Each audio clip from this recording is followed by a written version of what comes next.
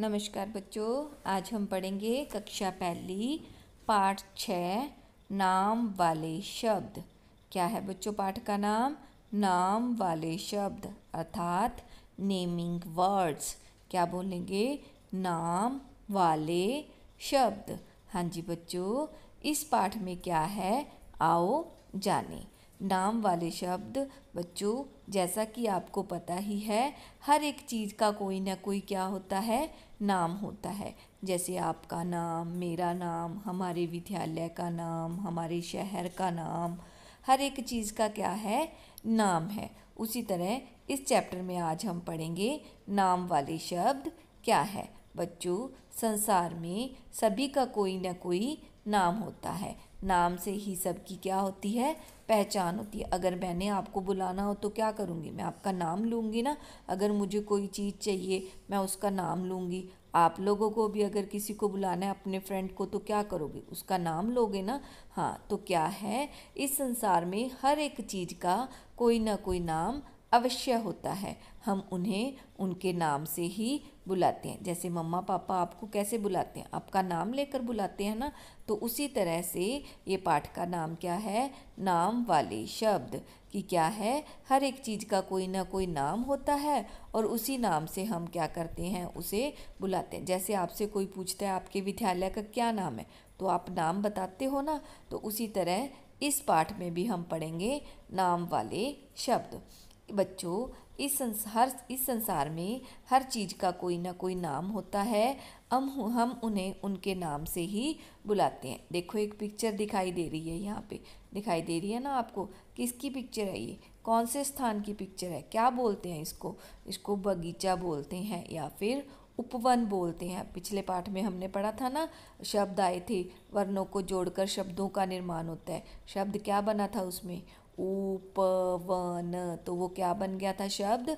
उपवन। तो वो क्या है? जो वर्णों के मेल से क्या बने? शब्द बने। और उसी तरह से वर्णों के मेल से क्या, किसका निर्माण होता है? नाम का निर्माण होता है। और बच्चों, हर एक चीज़ को बुलाने के लिए क्या होता है? उसके नाम से हम उसे संबोधित करते हैं, उसे बुलाते हैं। हाँ जी बच्चों, इस चित्र में हमें बहुत कुछ दिखाई दे रहा है। और उसका क्या है? हर एक चीज़ का कोई ना कोई नाम है। है ना? देखो, दिखाई दे रहा है ना आपको? हाँ। तो क्या है? इस बगीचे में बहुत सी चीज़ें हैं।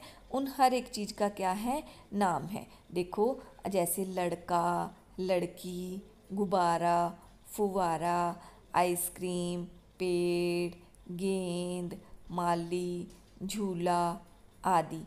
ये सभी क्या है? नाम है, नाम शब्द हैं। देखो दिखाई दे रहा है ना, जैसे लड़का खेल रहा है, एक लड़की है, वो स्विंग्स कर रही है और एक माता पिता हैं जो बैठे हुए हैं वहाँ पे और एक बच्चा आइसक्रीम खा रहा है। माली क्या कर रहा है? पौधों को पानी दे रहा है। बच्चे झूला झूल रहे हैं और ये सब क्या हैं? इनके नाम हैं। तो इस चैप्टर में क्या बताया गया है? इस पाठ में क्या बताया गया है? कि संसार में हर एक चीज़ का कोई ना कोई नाम होता है और उसी नाम के द्वारा हम उन्हें क्या करते हैं? बुलाते हैं। आपको भी अगर किसी चीज़ की आवश्यकता होती है तो आप मम्मा से कैसे मांगते हो? उसका नाम लेकर मांगते हो ना? तो क्या है? नाम वाले शब्द। जब हमें कोई चीज़ चाहिए होती है तो हम उसे, उसके नाम से उसे बुलाते हैं। तो वो क्या कहलाते हैं? नाम वाले शब्द। हाँ जी बच्चों, अब क्या है? इस पाठ में हमने क्या सीखा है? सभी लोग चीज़ों और जगहों के नामों को नाम वाले शब्द कहते हैं। क्या है? सभी लोगों, चीज़ों और जगहों के नामों को नाम वाले शब्द कहते हैं। हर एक चीज़ का कोई ना कोई नाम अवश्य होता है। लोगों, चीज़ों और जगह के नामों को नाम वाले शब्द कहते हैं कि हर एक चीज़ का कोई ना कोई नाम है, इसलिए उसे क्या कहेंगे? नाम वाले शब्द। क्या कहेंगे?